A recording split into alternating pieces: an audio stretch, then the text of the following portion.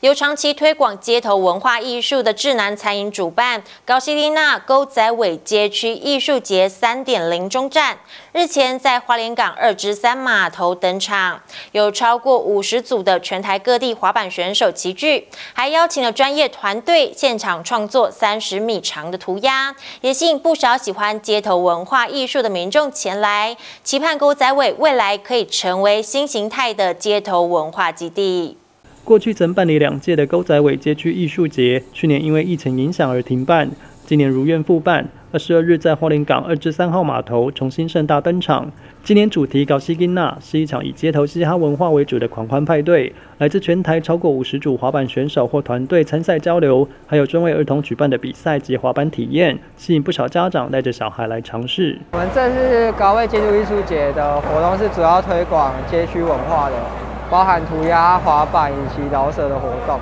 那我们是希望我们在今年度的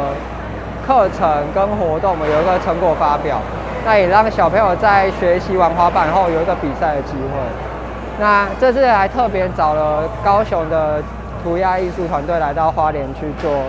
三十米的涂鸦以及多罗曼中型巴士的彩绘。对，那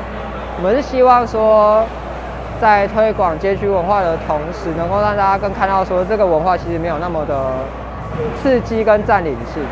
现场除了有 DJ 音乐、饶舌表演等炒热气氛，还有专业团队现场创作三十米的涂鸦。而多罗曼赏金公司也提供十六人座的小巴士给涂鸦团队设计，打造花莲最沙趴的接驳车。未来将会在多罗曼赏金接送游客。主办人黄宏顺表示，高仔尾街区艺术节未来将改变形态，重新出发，在社区和学校透过课程、工作坊带入民众日常生活，希望打造高仔尾变身新形态街头文化基地。